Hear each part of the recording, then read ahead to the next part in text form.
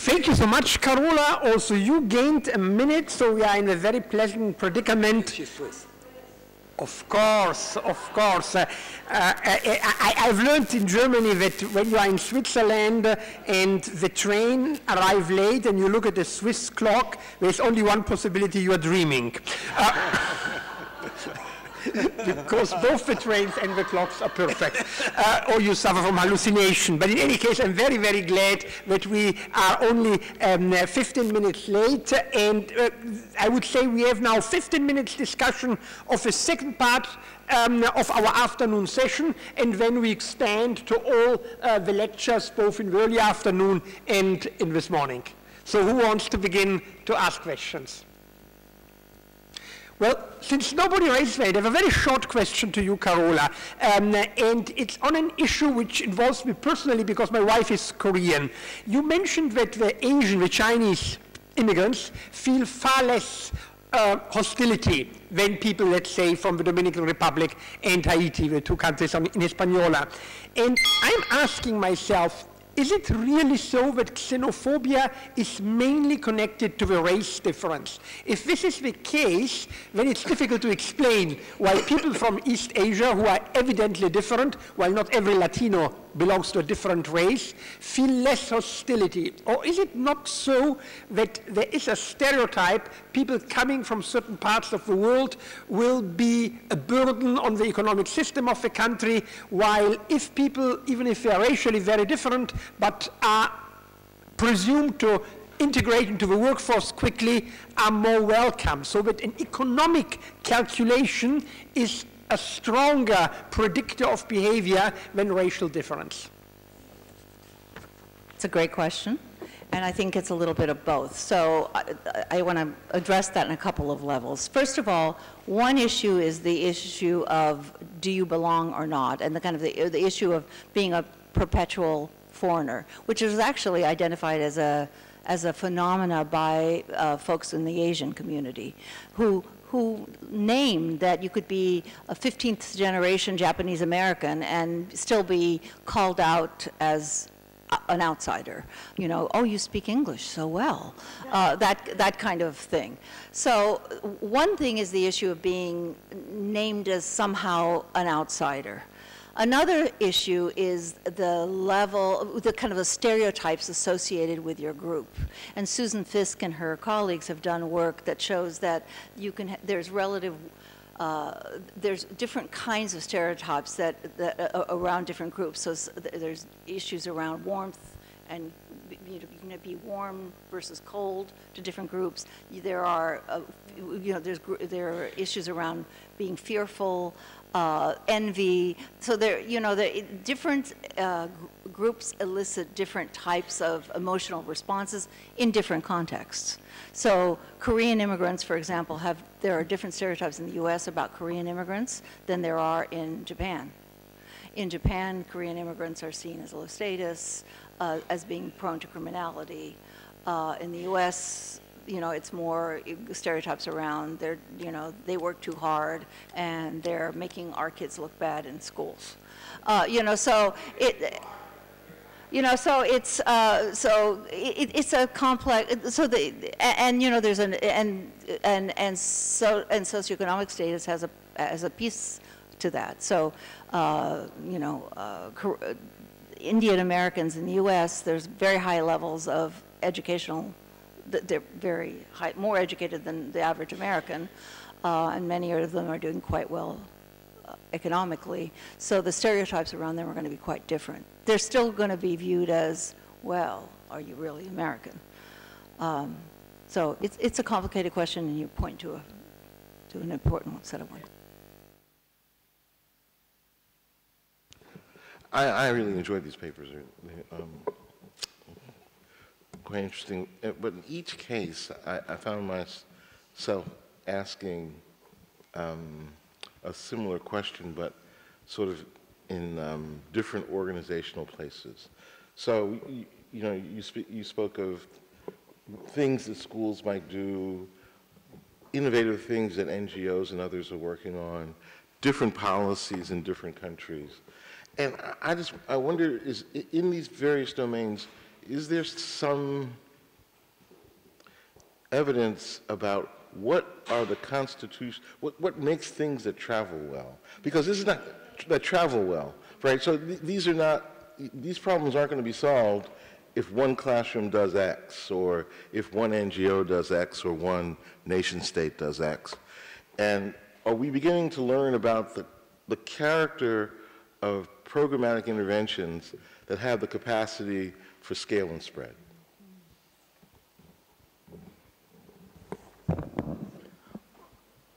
Uh, if you read the Global Compact on Refugees, and then I think there's been a more recent Refugees 2030 uh, document that's trying to get into a little bit more of the implementation beyond the, the guidance. I think there are general guidelines of what an inclusive education system does.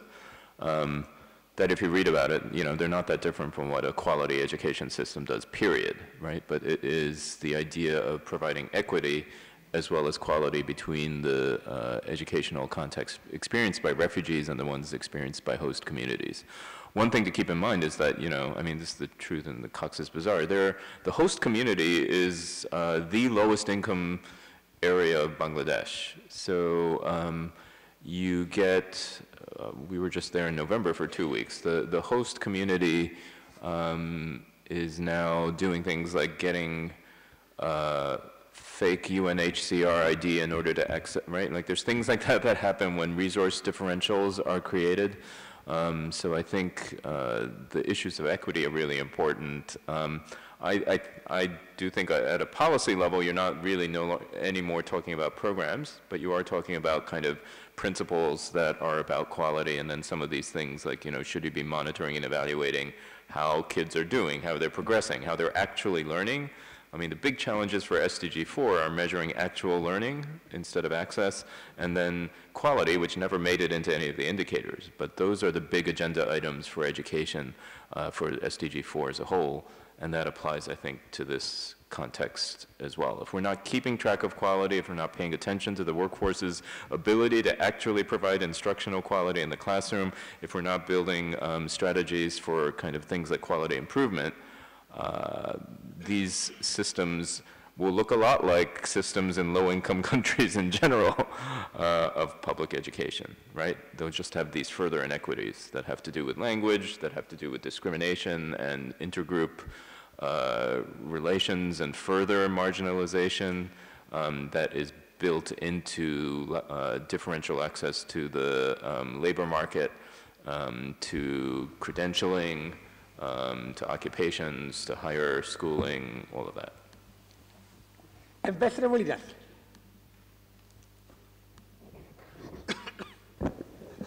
Dr. Kroll, do you have an experience or you know something about uh, virtual classrooms? So it's possible to teach those children that are moving from one country to other, having the, the program uh, prepared in the origin of uh, the, the, country of origin because I think it's the compromise of that country not to miss these children who left the country. So it's possible to prepare in a lab these class, the virtual classes, so can serve on these refugees uh, camp. Do you think it's possible or is there any experience of it? I think maybe Hiro is better able to answer that because I think both uh, Microsoft and, and the Lego Foundation are doing things like that in the camps, uh, if I'm correct. My, my experience mostly in formal education, and this is happening more in sort of more informal uh, context. Sorry, the question was about what about classrooms? I didn't quite catch. It's possible to create a virtual system for those children that are live in the country. So the teachers on the, the country of origin can produce in a lab a package of uh, the lessons so it can serve in those camps following the program that can, is legal, uh, legal uh, instruction. So it will be nice so the children can be out of the system by one, two years. They can follow up all this uh, process. Uh, yeah, I think it's there's been informal efforts for families to learn um, One of the things that's happened, I think, is that families retain, as they often do in immigration, contacts with members of their networks and their families who remain in the host, in the home country. So there may be kind of information about what's going on in terms of schooling, but I don't know of any formal structure for that kind of curriculum to travel outside of the borders so that kids are prepared to, to re-enter. Um, these, these gaps are huge. Um, so, uh, because the Rohingya, for example, have not had access to any form of uh, formal schooling now for two and a half, close to two and a half years. So none of them have had any access. Jeff? Of course, one of the things that happened in Turkey is indeed that first the, the Syrian children were taught in these temporary education centers, where they were taught in Syrian curriculum in Arabic. So they, they actually created the system in Turkey with the idea, okay, maybe they are here for one or two years, they go back into the system and they didn't lose any years. But of course, all our experience in terms of migration and refugees learns us this is not happening. So that's the big risk you run, that you teach these children in a curriculum that has no value at all in the country where they're supposed in the end to make a living. And that's exactly what happened to the Syrian children in Turkey. So it's, it's difficult. Carola, thank you for really wonderful uh, paper and very depressing also. Um, What is the evidence about changes over time? I may have missed that. uh, But are things getting worse in the United States? And can you identify a George W. Bush effect, a global war on terrorism effect, a uh, a Donald Trump effect? Uh, Because what the kids hear is, uh, maybe uh, the microphone. Thank you for the question. I, all that evidence, I can, I, I can tell you that the sentence completions that I gave, that I started with was 20 years ago. And we followed the kids for five years. We did it every year for five years, and it stayed pretty stable. So that was interesting. So they were all newcomer kids, and um, and they had the same kinds of answers. Now, imagine if we did it today. Is would be would be a thing that I would say. Uh, but I don't have that data because I wasn't, I, I, it was longitudinal, but not that longitudinal. Uh, we do have evidence uh, that, um, that, that, that I pointed to that from, doc, from Professor Rogers' study where they, they collected data right after the Trump election and uh, from 500 principals and they're saying incivility is way up and anti-immigration in particular. I should let you speak to that. Uh, so, you know, we, we don't really have uh, the clear evidence longitudinally on my kids, but we have, we have some evidence that, yes, xenophobia is up, hate, club, hate crimes are up. Uh, there are cascading effects in schools. Introspectively, I'm falling to pieces, so uh, I can Yeah, imagine no, it's- uh, it- that, that kids that are hearing this are similarly reacting. We also have a lot of evidence of rising hate crimes, uh, mass shootings, Mm-hmm. and so on. So uh, I would just, am I just picking pieces No, no, you're not picking air, pieces. I, I- I would, I would Yeah. refer you to uh, John's report as a, as a good, you know, a solid piece of strong evidence. That we actually did a survey in the spring of 2017 of teachers across the United States first. And in that initial survey, we asked, have things changed um, this year from previous years or this semester from previous years? And, and so we saw evidence there of heightened sense of stress amongst immigrant youth. Um, That's, that's as close as uh, a piece of evidence as I can offer relative to added effects, aside from the interview data where many teachers and principals have said things have gotten substantially worse since the Trump presidency started, and that students increasingly feel emboldened. That's the word that constantly is used to use xenophobic, hateful, racist rhetoric in classrooms and other spaces. Another round of survey data this spring to see what it means four years into this? It would be really valuable. In terms of uh, policy take-up, there is also, um, this is kind of like more policy-oriented information, but there have been higher declines in food stamp receipt among, for example, citizen children and immigrant families. Um, uh, so there have been these like pre-post uh, studies, pre and post the Trump administration's, uh, Trump being elected. So yeah, states like California have tracked that Native researcher, and I've been doing work with the undocumented uh, community for a very long time, and I have heard over and over, you know, stories from young people who are saying it's a lot worse, and teachers who are saying it's a lot worse. So, I mean, they're all point little points, little and large points of evidence that are telling us what we intuitively would guess is true.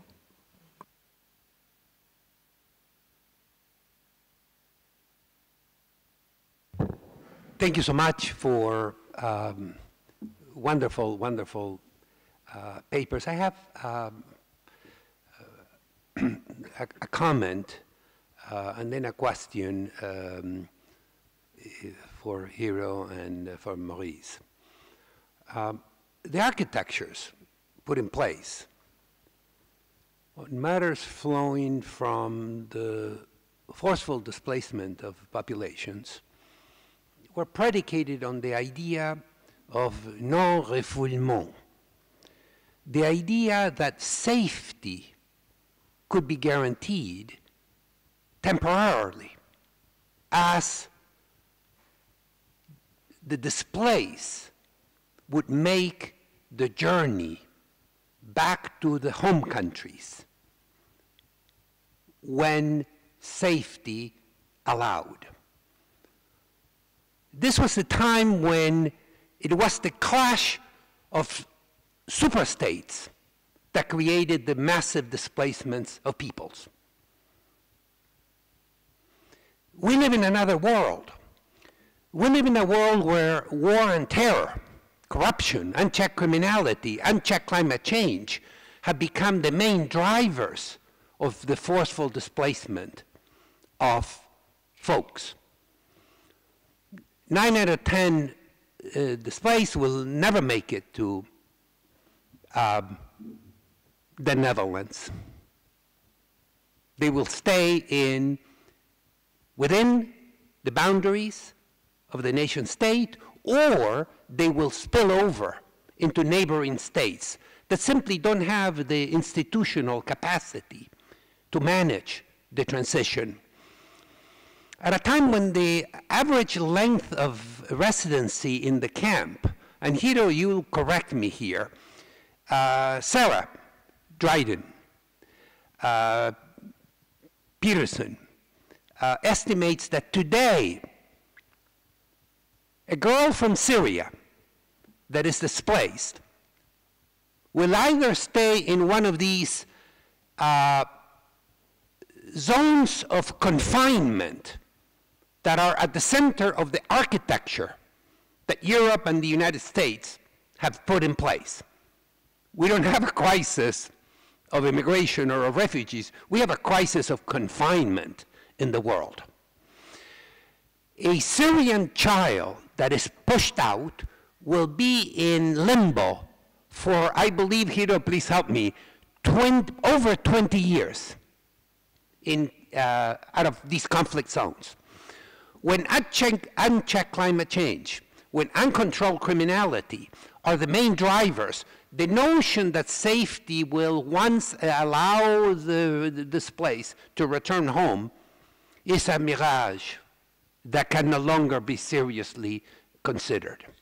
This is why the idea of uh, uh, teaching the Syrian children in Turkey, in Arabic, so they would go back home is a fairy tale.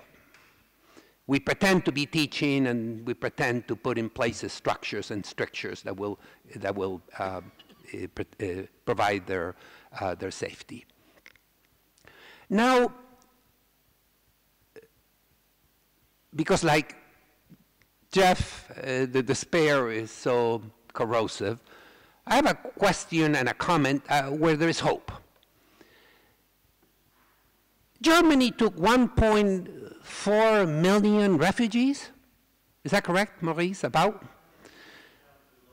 Yeah, Germany took 1.4 million people, and today, this is 1915.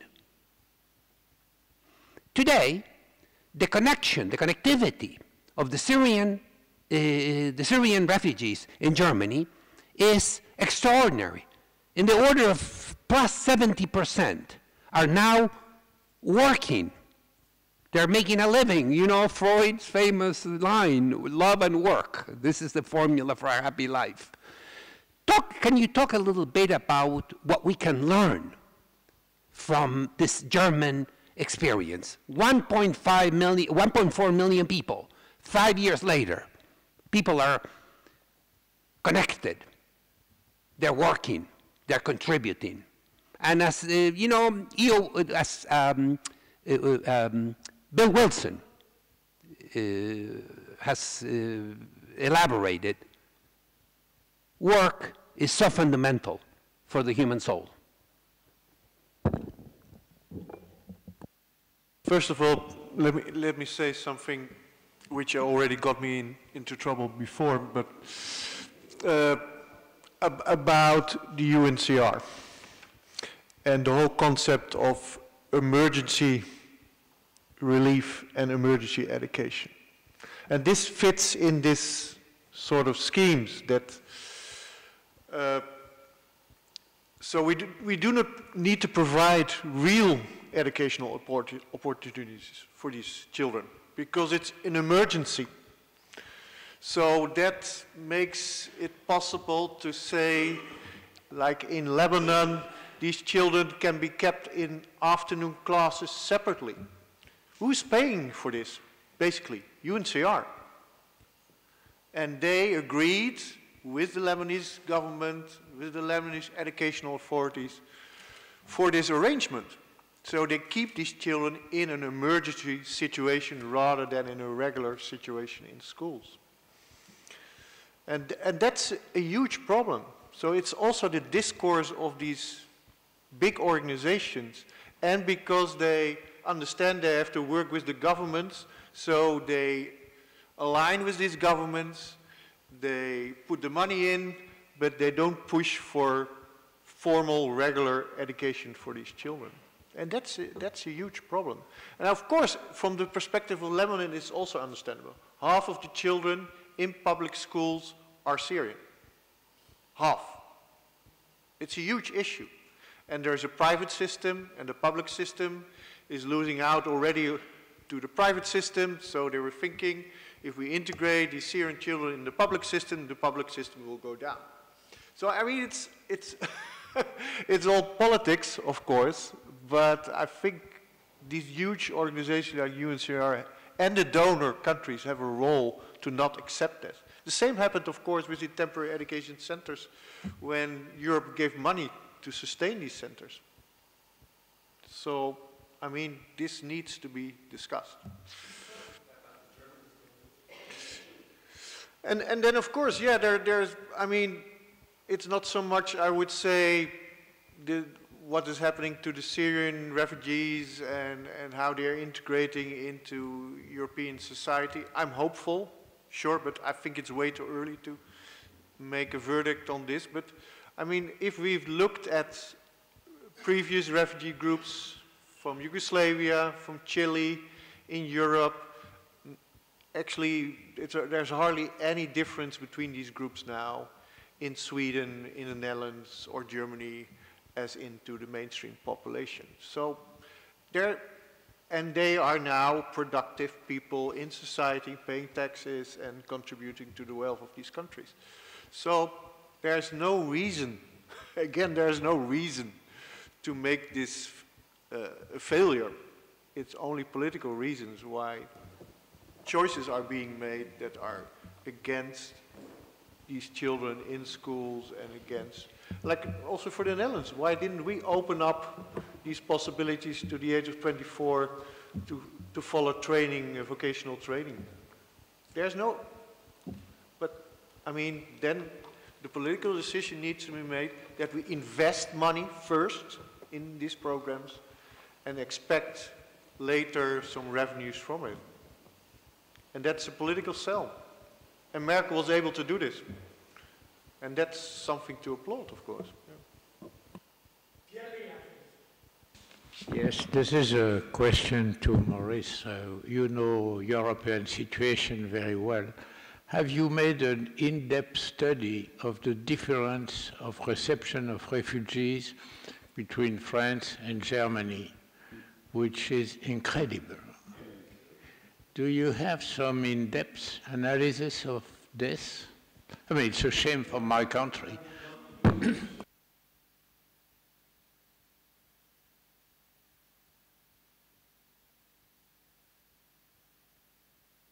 France was able to, to develop this policy without any critical voices in Europe.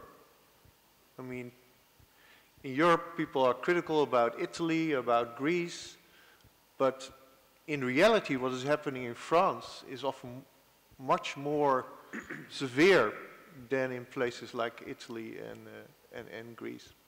So yeah, I, I agree, but I, I, I, would not expect the French government to uh, fund such a study. I'm very moved by something Maurice said, um, and I want to bring it back to the Global Compact and the opportunity that it presents to us. Um, even the UNHCR will barter and talk politics and say, well, we'll give you this if you give us that, and, and ignore absolute morality. I mean, we're talking about children's lives here. And we have Pope Francis, who is an ethical, moral um, expert. I mean, uh, he has uh, an authority, is what I mean. He has the moral authority to say, this is not acceptable. There is absolutism here that needs to be brought back in. This is absolutely wrong, and we will sign this global compact, heads of state, because it's not acceptable. This isn't about bartering the, the um, you know, what is convenient, what is political. I think some of that needs to come back into the discourse, and this is a perfect opportunity for, it, for that to happen. If it doesn't happen now, it'll never happen.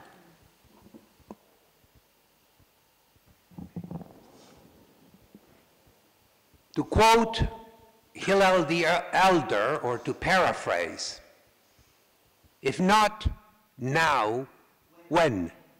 If not us, who?